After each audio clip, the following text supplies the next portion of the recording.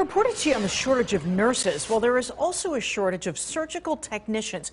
So much so, UPMC will pay your tuition to become one.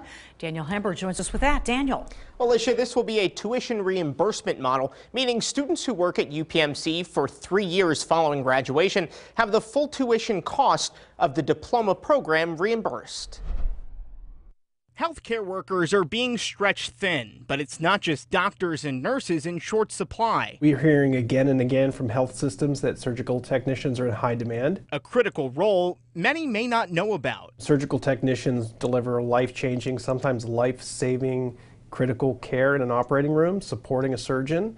Um, everything from positioning the patient to um, sterilizing equipment. Michael Fedora with Central Penn College says they're offering an accelerated 18 month degree program that could be totally free thanks to a partnership with UPMC and the UPMC Pinnacle Foundation. It does come with some commitment to the workforce, but uh, we believe that we can create an exciting uh, work environment and opportunity for each of these students to want to be part of one of our UPMC hospitals. The median annual wage for surgical technicians was nearly $50,000 in 2020.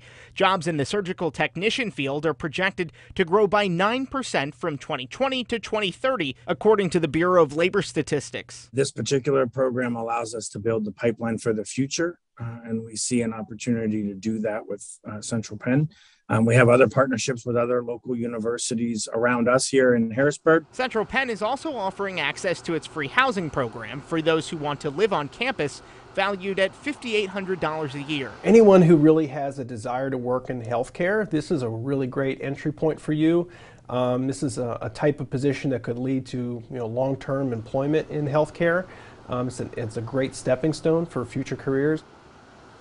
The 18 month program starts in April. Enrollment is limited to 15 students for the first term. In the studio, Daniel Hamburg, ABC 27 News.